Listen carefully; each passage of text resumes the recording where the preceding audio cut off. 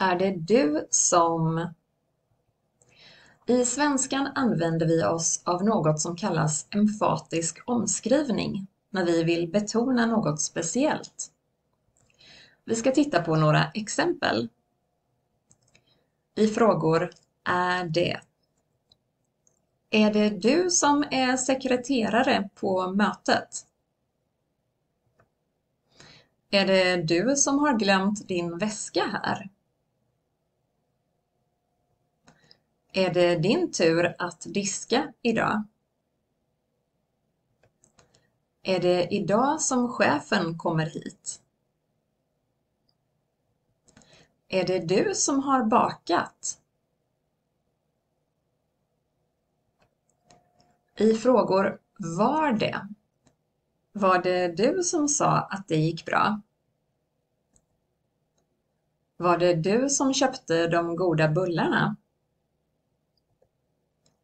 Var det idag vi skulle ses?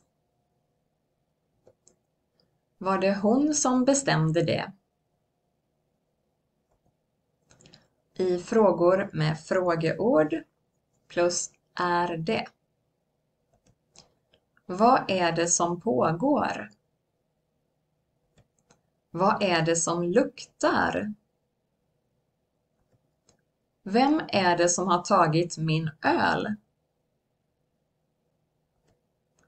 Vem är det som har flyttat på min stol? I frågor med frågeord plus var det. Vad var det som hände? Vad var det som lät? Vem var det som började? Vem var det som antecknade förra gången? I påståenden. Det är jag som ska tacka. Det är det som fungerar bäst. Det är vi som bor här. Det är Mikael som du ska hjälpa. Det är idag som vi ska åka. Om som är subjekt måste som vara med.